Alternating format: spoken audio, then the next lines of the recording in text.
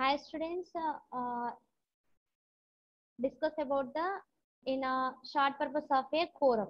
It is also in very, very important question. So quorum in section 103, the quorum, uh, it is also known as a, uh, it to be in minimum number of members required to the in conduct and validate a meeting. So quorum means it can be required in a in minimum numbers. It can be conducted in a validate of a meeting. Presence of quorum is necessary to validity transact business at a meeting.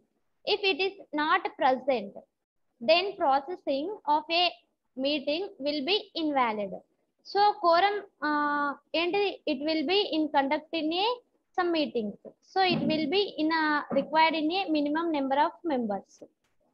According to section 103 of a Companies Act 2013, quorum required for any other company is minimum of two members.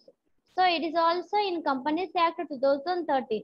It can be required in a in other companies. So uh, in minimum in minimum numbers in two members. Whereas under articles, it is prescribed that the quorum shall be more than one. So articles of association will be prescribed in a uh, more than one member.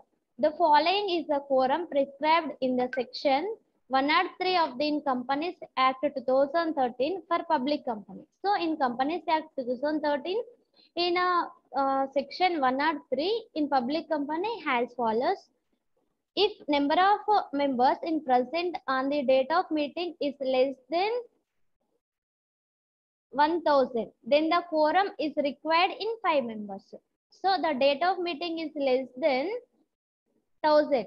The quorum members is required in a, in a 5 members.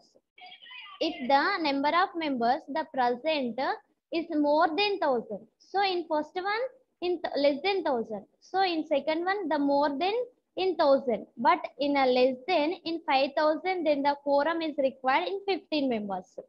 If number of members, the present in the more than 5000, then the quorum members is required in a in 30 members. So thanks for watching.